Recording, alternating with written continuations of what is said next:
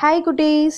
Already you have learned to write many letters in English alphabet.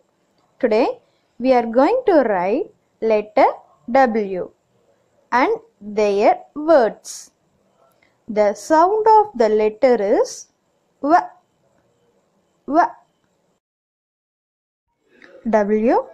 Water. W. Window. W. Watermelon. W. Whale. W. Wheel. W. Win.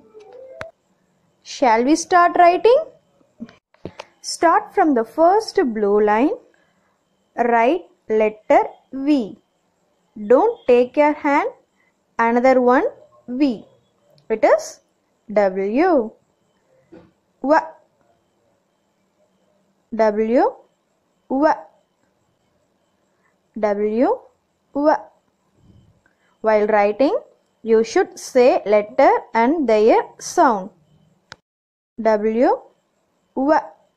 W. W.